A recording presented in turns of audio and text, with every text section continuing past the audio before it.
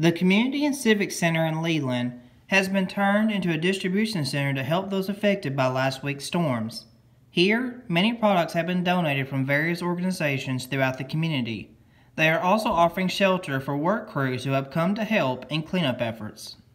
We have wonderful volunteers show up from all over the country. Uh, we're from Eastern Oklahoma, where Grindstone is uh, headquarters out of. And we all came out here. We were actually on the road doing our, our work, you know, doing uh, tactical medical training across the country and diverted to come out here um, because the need was so great.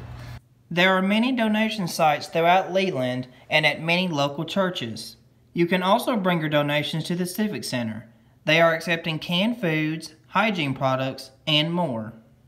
Little things like this that, that seem little to us are so big and in such great need right now. These people need help and um, you know, they have the Humane Society over there grabbing animals that are found, and the locals um, are reaching out over Facebook, over social media, because it is a smaller community, finding their homes. Um, and this is my first deployment, so it's been very real, very emotional, and I've been crying with these families.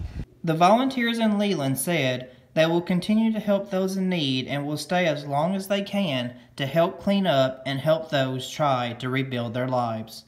Reporting in Leland, I'm Chase Ward, Delta News.